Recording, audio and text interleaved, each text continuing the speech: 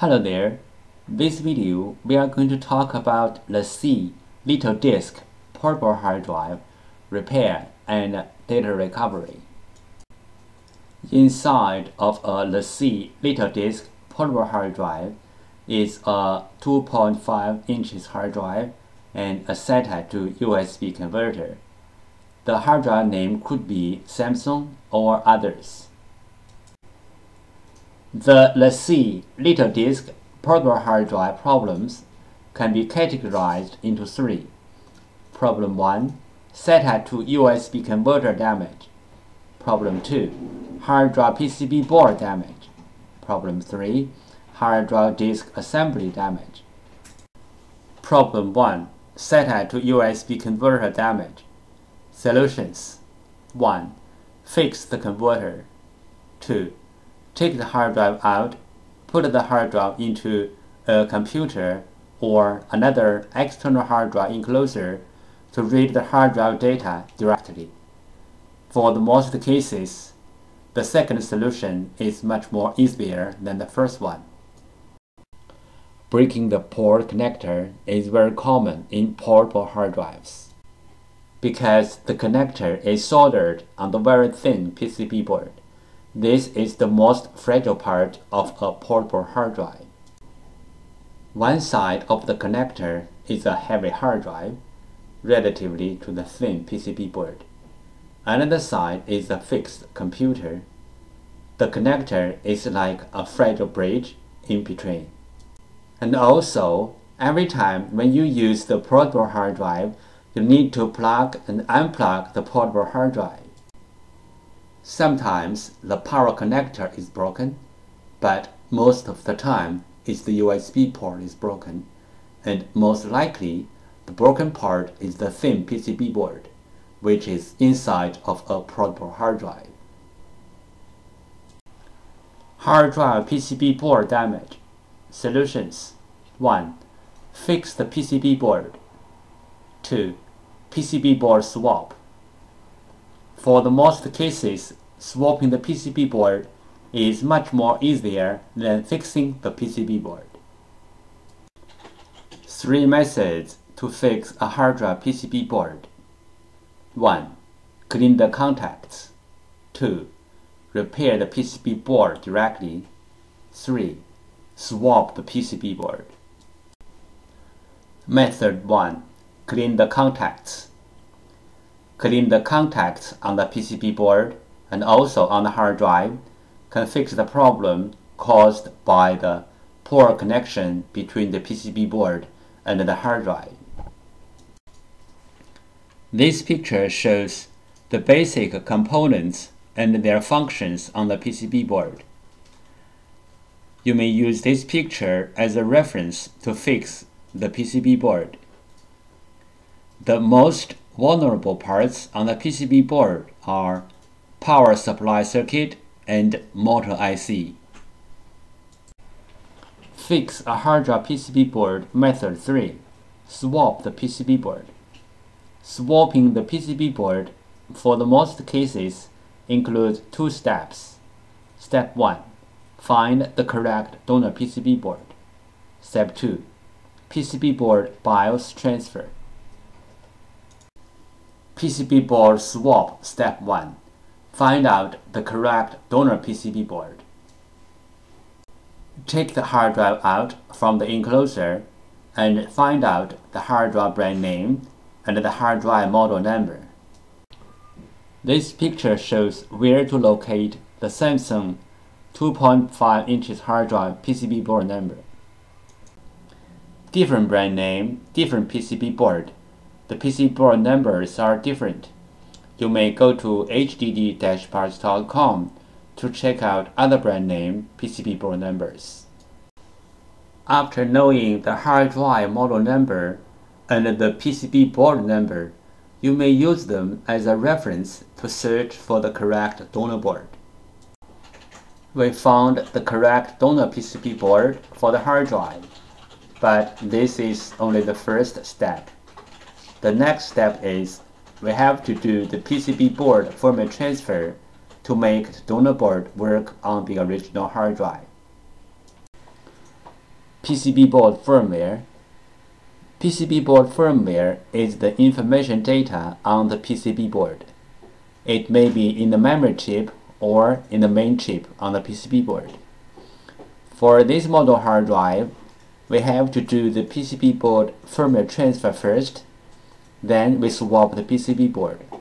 Otherwise, the new board will not work on the original hard drive. Why do we have to do the PCB board firmware transfer? Because for this model hard drive, one PCB board includes two parts, hardware and firmware. The PCB board firmware includes hard drive's unique configuration data. The hard drive needs this unique configuration data to work. So we have to transfer this unique configuration data from the original board to the donor board. Then the donor board can work on the original hard drive. Regarding the hard drive PCB board firmware transfer, we have three things to mention.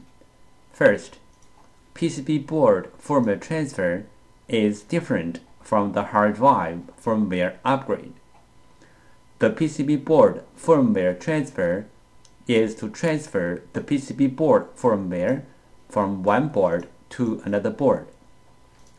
The hard drive firmware upgrade is to upgrade the hard drive's own firmware it nothing to do with another hard drive or another PCB board. Second, we can do the PCB board firmware transfer from the physically damaged PCB board, like burned, watered, or other kind of damage. Our PCB board firmware transfer success rate is more than 95%. Third, we do the PCB board firmware transfer for our clients for free. We receive many questions regarding the hard drive PCB board firmware, also called hard drive PCB board BIOS, and uh, the hard drive PCB board compatibility. So let's talk a little bit more about this in general. Some PCB boards BIOS are in the independent memory chip, like the first picture shows. Some PCB boards BIOS are integrated into the main IC, like the second picture shows. Most of the modern hard drive PCB boards need to do the BIOS transfer before swapping the PCB board. Even the donor boards are identical with the original boards in hardware, we have to transfer the BIOS from the original board to the donor board. Then the donor board can work on the original hard drive. The third picture shows some of these PCB boards. But there are some hard drive PCB boards do not need the BIOS transfer as long as the donor boards are identical with the original boards. You can swap the boards directly. The fourth picture shows some of these kind of boards. If you have any questions, such as how to find a donor board, if your board need to do the BIOS transfer, where is the BIOS of your PCB board? How to swap your PCB board? Please go to www.hdd-parts.com to check it out. Or you may take pictures of your hard drive and the PCB board and email to us. We will give you the correct answer This picture illustrated the procedure of fixing a hard drive PCB board. First, the clients sent in their PCB board. 2. We fix the PCB board. 3. We ship back the PCB board to the clients. If the hard drive disk assembly is damaged, we can do disk data recovery to recover the data from the disks. The common symptoms of hard drive disk assembly failure are the following. 1. Hard drive makes weird sound. 2. Spin nicely but no access to any computer. 3. Hard drive no spin.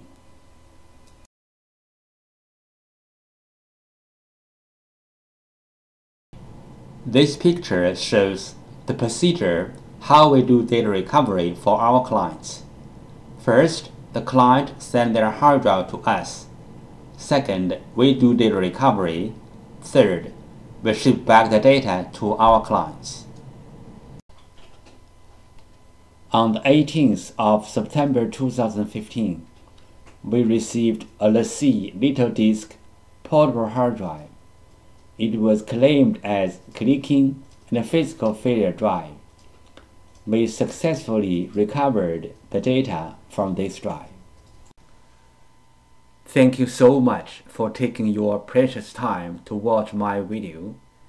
Any comments are really appreciated. If this video is a little bit of help, could you please click on like to support me? Thank you again. Bye.